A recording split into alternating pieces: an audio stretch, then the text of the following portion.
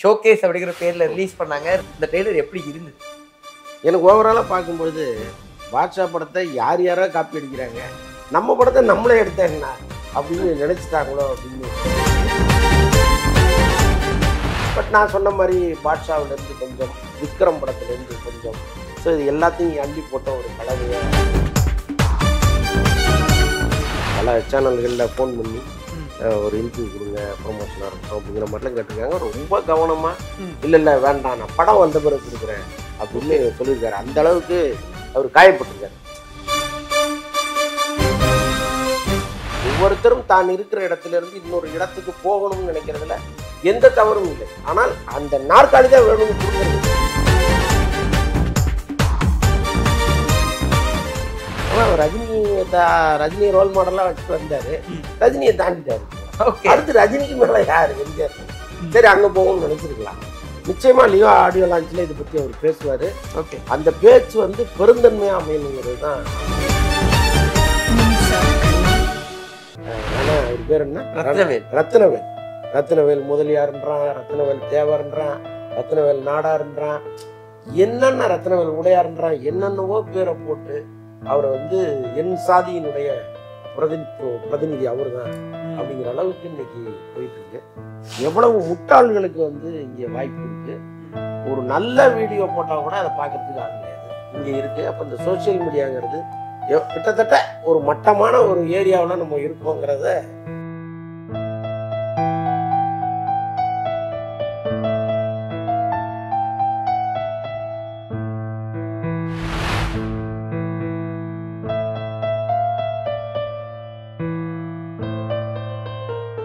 வணக்கம் மக்கள் this PJ Pranesh. நீங்க பார்த்துட்டு இருக்கிறது டேக் ஒன் தமிழ் இன்னைக்கு கூட இருக்க கேஸ் யார்னா சினிமா விமர்சகர் மற்றும் மூத்த பத்திரிகையாளர் அந்தணன் அவர்கள் இருக்காரு. அவர்கிட்ட சினிமா விஷயமா நிறைய பேச போறோம். வாங்க பேசலாம். வணக்கம் சார் வணக்கம். மீண்டும் உங்களை சந்திக்கிறதுல எங்களுக்கு ரொம்பவே சந்தோஷம் சார் என்னுடைய முதல் கேள்வியே நேற்று ஜெயிலர் ட்ரெய்லர் ரிலீஸ் ஆச்சு. ஷோகேஸ் அப்படிங்கிற பேர்ல ரிலீஸ் பண்ணாங்க. ரிலீஸ் பண்ணதுக்கு அப்புறம் ஆடியன்ஸ் கிட்ட ஒரு பெரிய வரவேற்பு கிடைச்சது. ட்ரெய்லர் ஒரு பக்கம் பிரிச்சு மேயுது அப்படிங்கிற மாதிரி வியூஸ்லயும் சரி எல்லாத்தையும் ஆடியன்ஸ்லயும் சரி அந்த ட்ரெய்லர் எப்படி இருந்தது? எனக்கு ஓவராலாக பார்க்கும்பொழுது பாட்ஷா படத்தை யார் யாரோ காப்பி அடிக்கிறாங்க. நம்ம படத்தை நம்மளே எடுத்தாங்கண்ணா அப்படின்னு நினச்சிட்டாங்களோ அப்படின்னு தோணுச்சு.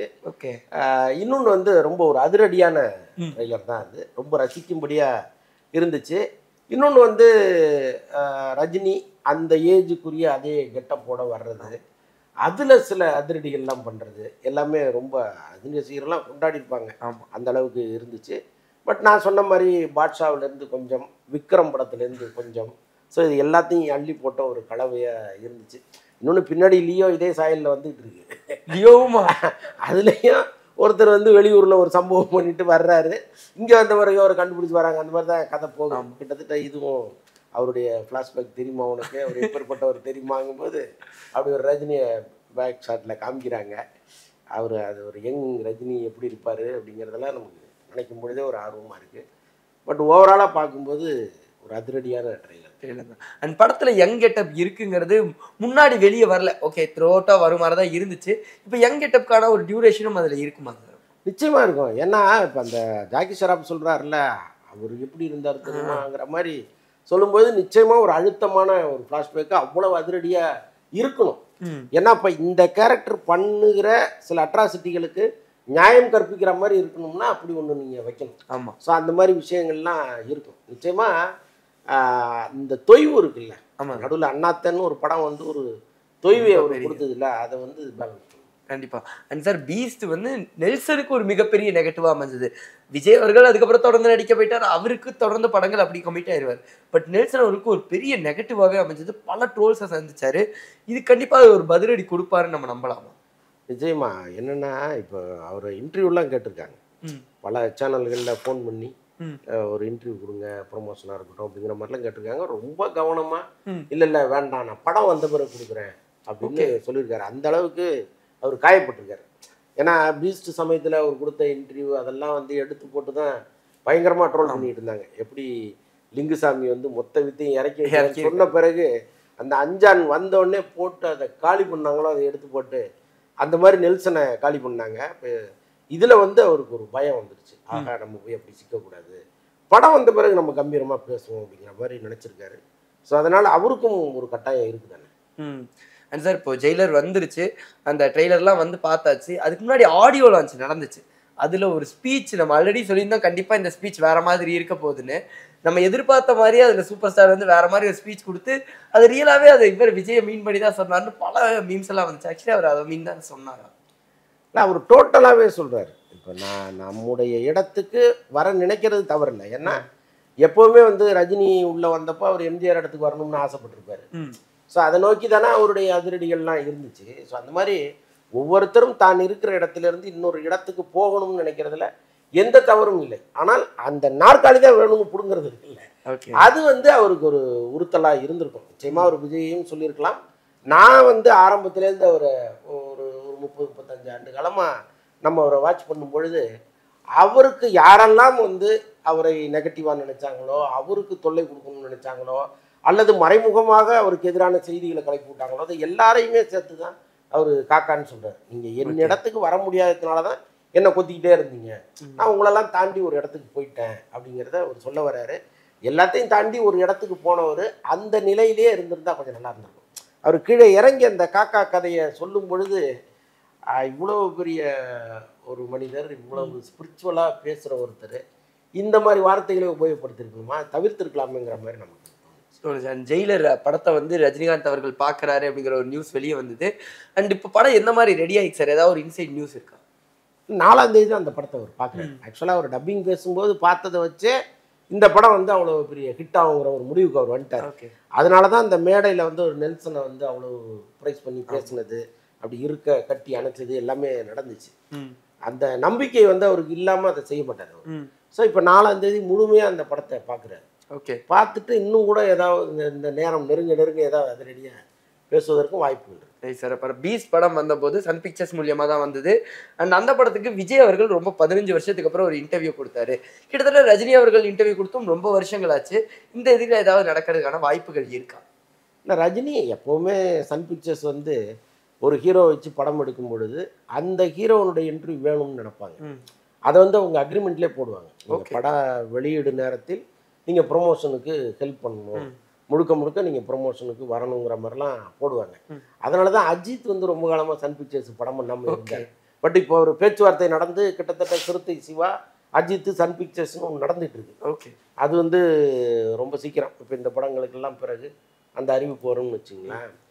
ஸோ அவர் வந்து நான் இன்டர்வியூ கொடுப்பேன் அல்லது கொடுக்க மாட்டேன்னு ஏதோ ஒன்று அக்ரிமெண்ட்டில் போடணும். பட் சன் பிக்சர்ஸுடைய அக்ரிமெண்ட்டு அப்படி தான் இருக்குது இந்த முறை ரஜினி வந்து இன்டர்வியூவில் பேச வேண்டியதை மேடையில் பேச மேடையில பேசிட்டேன் அதனால் வந்து ஒரு இன்டர்வியூ கொடுக்க மாட்டாருன்னு நான் நினைக்கிறேன். இன்னொன்று ஆறாம் தேதி கிளம்பி ஒரு ஆன்மீக பயணம் கிளம்பிடுறாரு. ஓகே. அதனால் வந்து இங்கே கிடையாது. அவர் பத்தாம் தேதி சென்னையில் இல்லை. படம் ரிலீஸுக்கே ரிலீஸ் ரிலீஸ்க்கு அவர் இல்லை.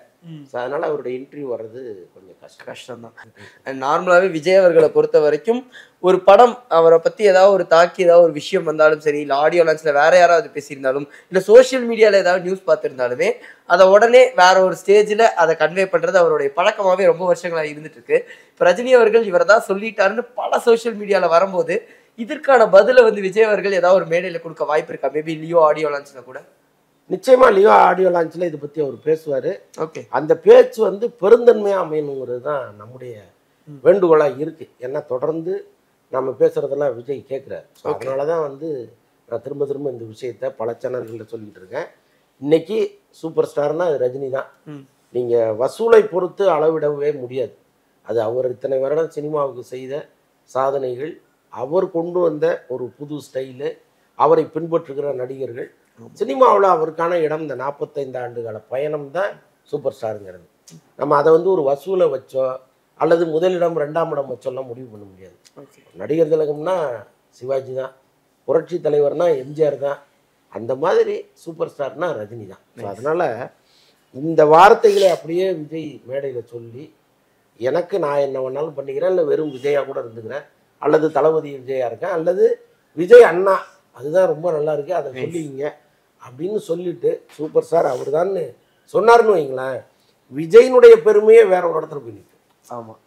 அதை வந்து விஜய் செய்யணும் நிச்சயமா செய்வாருன்னு நான் நம்புறேன். அண்ட் சார் ரீசெண்ட் டைம்ஸ்ல நான் பார்க்குற விஷயத்த வச்சு கேட்குறேன் விஜய் அவர்கள் முன்னாடி படங்கள்லாம் வந்து பார்த்தீங்கன்னா ரஜினி அவர்களோட ரெஃபரன்ஸ் அதிகமாக யூஸ் பண்ணுவார். புதிய கீதையில் ஒரு பாட்டில் கூட அண்ணாமலை தம்பிங்கிற. பாடல்லாம் வரும். ஆனா இப்ப ரீசெண்ட் டைம்ஸ்ல பார்க்கும்போது எம்ஜிஆர் அவர்கள் அதிகமா அவரோட படங்கள்ல யூஸ் பண்ற மாதிரி தெரியுது. உதாரணத்துக்கு சொல்லணும்னா மெர்சல்ல நம்ம பார்க்க முடியும் அந்த என்ட்ரி எல்லாம் பார்க்க முடியும். திடீர்னு எம்ஜிஆர் அவர்களுக்கு ஷிஃப்ட் ஆன காரணம் என்னன்னு தெரிஞ்சுக்கலாம். ஆமா ரஜினி ரஜினி ரோல் மாடலா வச்சுட்டு வந்தாரு. ரஜினியை தாண்டிட்டாரு ஓகே. அடுத்து ரஜினிக்கு மேல யாரு? எம்ஜிஆர் தானே.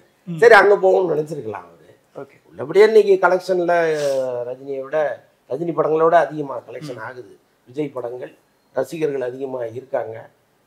சம்பளம் ரஜினியோட அதிகமாக வாங்குறாரு. ஸோ ஆட்டோமேட்டிக்காக அவர் தாண்டிட்டாருங்கிற எண்ணம் அவர் மனசுக்கு வந்திருக்கும் இல்லையா? அதுக்கப்புறம் யாருங்கிற ஒரு கோல் பார்க்குறாரு எம்ஜிஆர் தான். சரி அங்கே போவோம் அப்படின்னு நினச்சிட்டு அவர் போகிறாரு எம்ஜிஆருடைய ஸ்டைல் என்னென்னா சினிமாவிலேருந்து அரசியலுக்கு வந்து அரசியலில் ஒரு நாற்காலியை பிடிப்பது தான் அதை நோக்கி தான் இவரும் போயிட்டுருக்காரு. சினிமாவிலேருந்து அரசியலுக்கு வந்து அடுத்து அந்த நாற்காலியை நோக்கி போகலான்னு நினச்சி ஒரு பிளான் பண்ணுறாரு அதனால தான் இந்த எம்ஜிஆர் புராணத்தை அவர் ஆரம்பிச்சார். அண்ட் ரீசெண்டா பார்க்கும்போது தமிழ் படங்கள்ல கொஞ்சம் டயர் டூ ஆக்டர்ஸோட படங்கள் ஓரளவுக்கு வெளியே தெரிய ஆரம்பிக்கிற மாதிரி தெரியுது. இப்போ டிடி ரிட்டர்ன்ஸ் படம் வந்து ஓரளவுக்கு நல்ல ரிவ்யூ வந்ததுக்கப்புறம் கூட்டம் கூட்டமா போய் படத்தை பார்த்து என்ஜாய் பண்றாங்க. இந்த ஒரு சேஞ்ச் எப்படி சார் பாக்குறீங்க முன்னாடி வந்து ஒரு பெரிய நடிகர்கள் படம் அப்படிங்கும்போது வரும். இப்போ ரிவ்யூ வந்துச்சுன்னா நல்லா போகிறத எப்படி பாக்குறீங்க நல்ல படங்கள் சுவாரஸ்யமான படங்கள் ஓடதாங்க செய்யுது. ம். இப்போ பொறுத்தவரையிலாம் கிட்டத்தட்ட நாற்பது கோடிக்கு மேலே வசூல்னு சொல்கிறாங்க ஸோ அந்த அளவுக்கு வந்து சுவாரஸ்யமான படங்கள் இருந்தால் ஸ்டார்லாம் இவங்க பார்க்குறதே கிடையாது. பெரிய ஸ்டார் படத்தை மண்ணை கவ வச்சுட்டு சாதாரண படம் வந்து குட் நைட் மாதிரி படங்களை ஓட வைக்கிறாங்க. அப்போ இவங்க நல்ல படங்களை தேடுகிற கூட்டம் இங்கே இருக்கு. அதற்கான ஃபீட்பேக் நம்ம கொடுக்குறோமான்னா இல்லை. எல்லாருமே ஸ்டீரியோ டைப்பாக ஒரே மாதிரி படங்களை எடுத்துகிட்டே இருக்காங்க. நம்ம உட்காந்து அடுத்த காட்சி இதுதான் அடுத்த காட்சி இதுதான் நம்ம சொல்லிக்கிட்டே இருக்கோம் ஸோ அந்த மாதிரி படங்களை அப்படியே லெஃப்ட் ஹேண்டில் தள்ளி விட்டுறாங்க. ஓ கதி அதுதான். ஆனால் நல்ல படங்கள் வரும்போது கூட்டம் கூட்டமாக தியேட்டருக்கு போகிறாங்க இப்போ டிடி ரிட்டர்ன்ஸ் வந்து அதுதான். அப்படி ஒரு பெரிய புரட்சி அது பண்ணிடுச்சுன்னு தான் சொல்லணும். இன்னொன்று மக்கள் மனமே ட்ரையாக இருக்கு. ஓகே அவன் வந்து தினந்தோறும் வெளியில் போயிட்டு திரும்பி வீட்டுக்கு வர்றதுக்குள்ள அவ்வளவு பிரச்சனைகளை சந்திக்கிறான் அவனுக்கு ஒரு ரிலாக்ஸேஷன் தேவைப்படுது. போனோமா நல்லா ஹாப்பியாக ஒரு ரெண்டரை மணி நேரம் இருந்தோமான்னு தேவைப்படுது. இப்போ சந்தானம் மாதிரி ஆட்கள் இனிமேலாவது இதை புரிஞ்சுக்கணும். ஓகே ஏன்னா அவர் வந்து நான் சிவகார்த்திகேயன் மாதிரி நடிப்பேன். அப்படின்னு ஸ்க்ரீனில் சீரியஸாக வந்து நிற்கும் பொழுதெல்லாம் ஏன்டா இந்த மாதிரிலாம் அவர் பண்ணுறாருங்கிற மாதிரி நமக்கு இருக்கு. ம். பட் இன்னைக்கு அவர் வந்து ஓரளவு புரிஞ்சுக்கிட்டு நம்மகிட்ட மக்கள் என்ன எதிர்பார்க்குறாங்களோ அதை நம்ம கொடுக்கணுங்கிற ஒரு முடிவுக்கு வந்துட்டாரு. அதனால வந்து இனிமே அந்த ரூட்டை பிடிச்சி அவர் போனாருன்னா அப்பப்போ நமக்கு ஒரு நல்ல ரிலாக்ஸேஷன் கிடைக்கும். கண்டிப்பா அதுகிட்ட இருந்து நிறைய எதிர்பார்க்கலாம். அண்ட் மாமன்னன் ஓடிடியில் ரிலீஸ் ஆச்சு. ரிலீஸ் ஆனதுக்கு அப்புறம் இந்தியா முழுக்க பல ட்ரெண்டிங்ல இருந்து ஒன்பதாவது இடத்துல இந்தியாலையும் தமிழ்நாட்டுல நம்பர் ஒன்லயும் இருந்துச்சு. இருந்தாலும் இந்த சோஷியல் மீடியா பக்கம் பார்க்கும்போது ரத்னவேல் அவர்கள் அந்த கேரக்டருக்கு வந்து எடிட் பண்ணி பல எடிட்ஸ் போச்சு. அவரே கவர் போட்டோலாம் வச்சிருந்தாரு.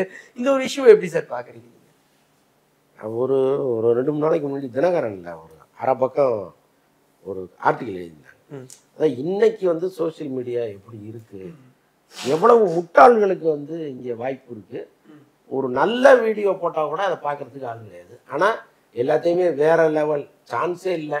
இன்னும் இந்த ரெண்டு வார்த்தையை மட்டுமே சொல்லிட்டு லட்சக்கணக்கில் வியூவர்ஸ் வச்சுக்கிட்டு இருக்கிற ஒரு கூட்டமும் இங்கே இருக்கு. அப்போ இந்த சோஷியல் மீடியாங்கிறது கிட்டத்தட்ட ஒரு மட்டமான ஒரு ஏரியாவில் நம்ம இருக்கோங்கிறத அந்த அரபக்கு ஆர்டிகல் சொல்லியிருந்தது.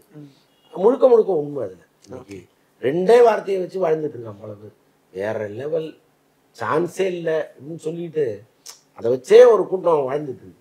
அப்போ வந்து அவங்க கேட்கறது எந்த அளவுக்கு சரி அப்படிங்கிறத தான் இந்த மாதிரி சம்பவங்கள் நிரூபிக்குது. ஏன்னா ஒரு நேர்த்தியான படத்தை கொடுக்குறாரு. இத்தனை ஆண்டு கால வழியை ஒரு படத்தில் ஒருத்தர் இறக்கி வைக்கிறாரு. இப்போ அந்த படம் சொல்கிற கருத்தை நீங்கள் ஒன்று ஏற்றுக்கணும் இல்லைன்னா இல்லைன்ட்டு போயிடணும். ஆனால் அதுலேருந்து சம்பந்தம் இல்லாத ஒரு கேரக்டரை உருவி கொண்டு வந்து அந்த வில்லனை ஹீரோ ஆக்குற விஷயம் இருக்குல்ல. அது வந்து மோசமான ஒரு விஷயம். அதை வந்து இன்னைக்கு ஒவ்வொரு சாதியும் பண்ணுது. ஒவ்வொரு ஆதிக்க சாதியும் அதை பண்ணுது. அந்த கேரக்டரை அவர் ஏன் சாதி? ரண அவர் பேர் என்ன? ரத்னவேல். ரத்னவேல். ரத்னவேல் முதலியார்ன்றான் ரத்னவேல் தேவர்ன்றான் ரத்னவேல் நாடார்ன்றான். என்னென்ன ரத்னவேல் உடையார்ன்றான் என்னென்னவோ பேரை போட்டு அவரை வந்து என் சாதியினுடைய பிரதிநி பிரதிநிதி அவர் தான். அப்படிங்கிற அளவுக்கு இன்னைக்கு போயிட்டு இருக்கு ஒரு இது மாரி செல்வராஜ் கண்ணிலேருந்து பார்க்கும்பொழுது எவ்வளோ வேதனையாக இருக்குங்கிறத நினைக்கிறேன். அதான் அது அது வந்து ஒரு படம் என்னென்ன விளைவுகளை ஏற்படுத்தணுமோ அதை விட்டுட்டு வேறு வேறு விளைவுகளை ஏற்படுத்துவதுங்கிறது தான் இந்த சோஷியல் மீடியா காலத்தில் நம்ம கற்றுக்கிறது இந்த தினகரன் அரை பக்க ஆர்டிகளுக்கும் இதுக்கும் எவ்வளோ ஒற்றுமை இருக்கு பாருங்க. ஆனா இது மாரி செல்வராஜ் அவர்களுக்கு ஒரு வழி கொடுக்குமா சார்? ஏன்னா இது மாதிரி ஒரு கேரக்டர் அவர் வழியை மொத்தமா இறக்கி வைக்கும்போது இப்படி மீம்ஸ் எல்லாம் பண்ணும்போது அவருக்கு ஒரு வழியை கொடுக்குமா? நிச்சயமா அது இன்னொன்று அவரும் வந்து தேவர் மகன் படத்தை சீண்டி இருக்க வேண்டாம் ம். நான் ஒரு படம் எடுத்திருக்கேன். என் வழியை நான் சொல்லியிருக்கேன். பாருங்க. அப்படின்னு சொல்லிட்டு போயிருந்தாருன்னா இவ்வளோ பெரிய சர்ச்சைகள் வந்திருக்க வாய்ப்பு இல்லை அவர் தேவையில்லாமல் போய் ஒரு சாதியில் கை வைக்கும்போது அவங்க திருப்பி ரியாக்ட் பண்ணுறாங்க இவங்க சைடும் தவறுகள் இருக்கு. அவங்க சைடு ரொம்ப தவறுகள் ஓகே சார். இந்த படத்துக்கு அப்புறம் வடிவேல் அவர்கள் தொடர்ந்து மறுபடியும் மலைய வரதுக்கான வாய்ப்பு சாரி இந்த படத்துக்கு அப்புறம் தொடர்ந்து வடிவேல் அவர்கள் பழைய இடத்துக்கான இடத்துக்கு வரதுக்கு வாய்ப்பு இருக்கா சார்? இனிமேல் வடிவேல் காமெடி எல்லாம் நம்மளால ரசிக்கவே முடியாது. ஏன்னா ஒருவன் வெள்ளந்தியா இருக்கான் அப்படிங்கிறது நம்ம மனசுல நினைச்சிட்டோம்னு வைங்களேன். அவன் என்ன பண்ணாலும் நமக்கு பிடிக்கும் அவன் ஒரு வில்லன் அவனுக்குள்ள வந்து ஒரு குரூரமான ஒருத்தன் இருக்கான் அப்படின்னு தெரிஞ்சிருச்சுன்னா நம்ம அவர் அந்த அளவுக்கு ரசிக்க மாட்டோம். இன்னைக்கு வடிவேலுவிடமிருந்து வெளியில் வந்த பல துணை நடிகர்கள் வடிவேலை பற்றி சொல்லுகிற விஷயங்கள் எல்லாம். மக்கள் மனதில் போய் மெல்ல மெல்ல விஷமா படிஞ்சிட்டே இருக்கு. அதே மாதிரி அவர் பேசுகிற விஷயங்கள். சங்கர்லாம் ஒரு டைரக்டரா. அதெல்லாம் ஏதோ சிஜி வச்சு ஓடிட்டு இருக்கு அப்படின்னு சொன்னவர் தான் வடிவேலு. சிம்புதேவன் வந்தான். நம்ம வீட்டு வாசலில் வந்து நின்னு கெஞ்சினான் சரிடா ஒரு படம் பண்ணு ஒன்று இந்த படம் பண்ணேன் இப்படி. அதாவது அவருடைய ஸ்லாங்கு அவருடைய பார்வை அவருடைய பேச்சு அவரை பற்றி இந்த சமூகத்தில் அவரோடு பணியாற்றியவர் வந்து சொல்கிற விஷயங்கள் இது எல்லாம் சேர்ந்து அவர் மேல் ஒரு பிம்பத்தை கட்டமைக்குது இப்போ இனிமே அவர் வந்து ஒரு அப்பாவியா ஒரு வெள்ளந்தியா பழைய படங்களில் நம்ம பார்த்தா வடிவேலுவா திரும்ப வந்து ஒரு பர்ஃபார்ம் பண்ணாருன்னா நிச்சயமாக நம்ம ரசிக்கவே மாட்டோம். அந்த அந்த இடத்துக்கு வடிவேல் வந்துட்டார். அதனால் அதை அவர் புரிஞ்சுக்கிட்டு மீண்டும் காமெடியெல்லாம் பண்ணாமல் இந்த மாதிரி குணச்சித்திர வேடங்களாக பண்ணிட்டு போயிட்டாருன்னா சிறப்பாக இருக்கும். கண்டிப்பா சார். இந்த ஒரு சந்திப்பு எங்களுக்கு ரொம்பவே சிறப்பா அமைஞ்சு சார். எல்லா கேள்விகளுக்குமே ஒரு சிறந்த பதில் கிடைச்சு சார். நன்றி.